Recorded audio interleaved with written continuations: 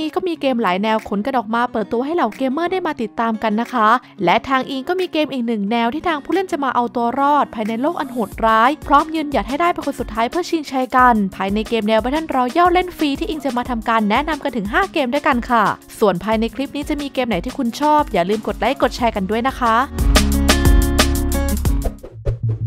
ในเกมแรกของคลิปนี้อิงก็ขอทำการหยิบเอาเกมดังที่แยกโหมดตัวเกมหลักของเกม Black Desert ออกมาสานต่อเป็นเกมสไตล์ Battle Royale อันสุดแหวกแนวมาทำการแนะนำกัน อย่างเกมที่มีชื่อว่า Shadow Arena โดยเกมนี้ก็ได้มีการเสริมเรื่องราวในจักรวาล Desert เพิ่มเติมจากตัวเกมหลักเข้ามา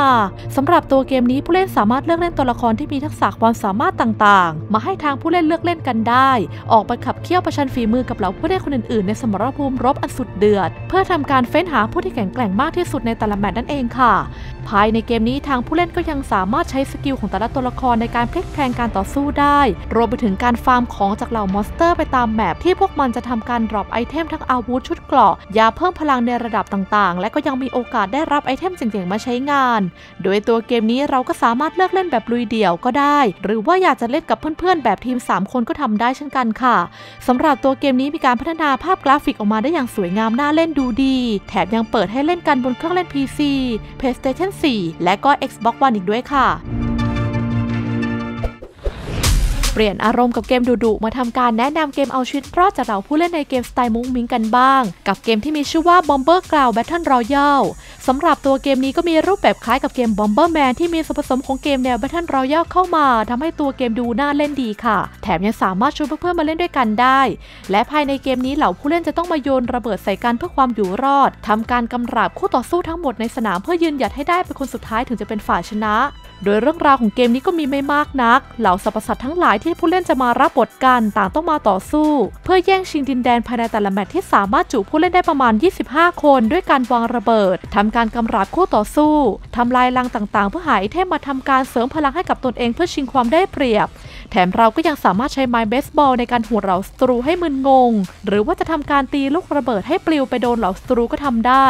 สำหรับตัวเกมนี้ก็มีฟีเจอร์ที่ดูน่าสนใจอีกเยอะ ใครที่สนใจตัวเกมนี้ก็เปิดให้เล่นกันบนเครื่องเล่น PC และตัวเกมนี้ก็สามารถเล่นได้บนมือถือ ทั้งระบบ iOS และ Android เลยค่ะ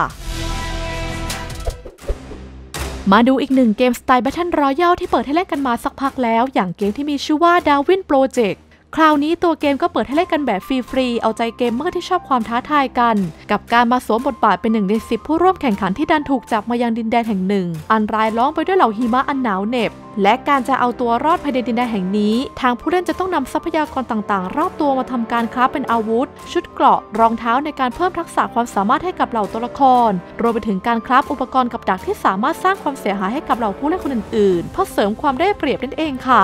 อีกทั้งทางผู้เล่นยังสามารถทำการก่อกองไฟคลายความหนาวเย็นเพื่อไม่ให้เราแข็งตายจากอุปสรรคด้านสภาพอากาศรอบด้าน โดยหลักๆ แล้วทางทีมผู้พัฒนาเกมนี้อยากจะมอบประสบการณ์ในการเล่นเกมในรูปแบบการล่าสัตว์ อันเป็นแกนหลักของเกมนี้นั่นเองค่ะสำหรับตัวเกม Darwin Project ก็มีการเปิดให้เล่นกันบนเครื่องเล่น PC PlayStation 4 และก็มีบน Xbox One อีกด้วยนะคะ มาแนะนำกันอย่างต่อเนื่องในเกมที่ 4 นี้ มาดูเกมสไตล์ Battle Royale ที่ได้มีการหยิบเอาธีมจอมเวทมาทำการพัฒนาเป็นเกมแนวนี้ได้อย่างน่าสนใจดี กับเกมที่มีชื่อว่า Wargrave Immortal Plane เกมที่จะให้ทางผู้เล่นมาใช้เวทมนต์ในการต่อสู้กับศึกชิงความเป็นหนึ่งบนโลกอันสุดแฟนตาซี โดยรูปแบบของเกมนี้ก็มีการผสมผสานเกมแนว MMORPG เข้ามาหน่อยๆ ผู้เล่นสามารถเลือกตัวละครที่มีทักษะความสามารถเป็นเอกลักษณ์ไปทำการต่อสู้เพื่อชิงชัยกันบนเกาะลับแลที่สามารถจุผู้เล่นได้ประมาณ 15 คนมาทำการดาหน้าปะทะกันนั่นเองค่ะ ตัวเกมนี้ก็จะให้ทางผู้เล่นทำการฟาร์ม skill ต่างๆ จากก้อนหิน หรือว่าจะทำการฟาร์ม skill จากการ drop ของ monster เพื่อนำมาติดตั้ง skill ให้กับตัวละครของเราไปใช้ในการพลิกแพลงตามสถานการณ์ได้ แถมยังสามารถทำการเปลี่ยนถอดติดตั้งได้ตลอดเวลา ซึ่งในส่วนนี้เราจะต้องทำการหมั่นฟาร์ม skill ต่างๆ เพราะว่าในบางจังหวะนั้น อาจจะทำให้ทางผู้เล่นไม่มี skill ต่อสู้จนโดนฆ่าตายได้ง่าย ๆ เลยค่ะ สำหรับตัวเกมนี้ทำภาพกราฟิกออกมาในสไตล์ polygon อาจกินสเปคไม่สูงมากนัก ใครที่สนใจเกมนี้ก็สามารถหามาเล่นกันได้บนเครื่องเล่น PC นะคะถึงตาของเกมฟอร์มใหญ่ที่เพิ่งปล่อยออกมาให้สาวกได้เล่นกันกับเกมที่มีชื่อว่า Call of Duty Warzone ซึ่งเป็นเกมแนวเอาชีวิตรอดชิงความเป็นหนึ่งที่ได้ดึงเอาเกม Battle Royale Mode กับ Plunder Mode แยกออกมาจากตัวเกมภาคหลักให้คนที่ชอบเกมฟรีได้มามันกันค่ะ สำหรับเกมนี้เราจะต้องมาเป็นหนึ่งในผู้เอาชีวิตรอด ที่ต้องดิ้นรนหาอาวุธ เหล่าอุปกรณ์ต่างๆ มายิงจัดการเหล่าศัตรู ภายในแผนที่ขนาดใหญ่ที่สามารถจุผู้เล่นได้ประมาณ 150 คน มาประชันฝีมือเพื่อยืนหยัดให้ได้เป็นคนสุดท้ายก็จะเป็นฝ่ายชนะไปค่ะ ในส่วนของเกมนี้จะดูแปลกไปจากเกมแนว Battle Royale ทั่วไป ตรงที่ว่าทางผู้เล่นสามารถทำการย้อนกลับเข้าสู่สนามรบได้อีกครั้ง เมื่อทางเราโดนโจมตีจนตาย จะถูกส่งไปยังคุกเพื่อทำการแก้ตัวกับการต่อสู้แบบหนึ่งต่อหนึ่งหากว่าทางเราสามารถเอาชนะได้ จะถูกส่งกลับไปยังสนามรบอีกครั้ง แต่ถ้าเกิดว่าเราแพ้การต่อสู้แบบหนึ่งต่อหนึ่งเราก็ต้องจบเกมไปนั่นเองค่ะ แถมตัวเกมนี้ก็ยังมีโหมดพลันเดอร์กับการสะสมเงิน หากว่าทางทีมใดสามารถสะสมเงินได้ครบ 1 ล้านก่อนก็จะเป็นผู้ชนะมาให้กับทางเราได้ทำการมันกันเพิ่มเติมอีกด้วยค่ะ ถือว่าเป็นเกม Battle Royale เล่นฟรีที่มีภาพสวยดูเมามัน และตอนนี้ก็ยังเปิดให้เล่นกันแล้วบนเครื่องเล่น PC PlayStation 4 และก็ Xbox One ค่ะ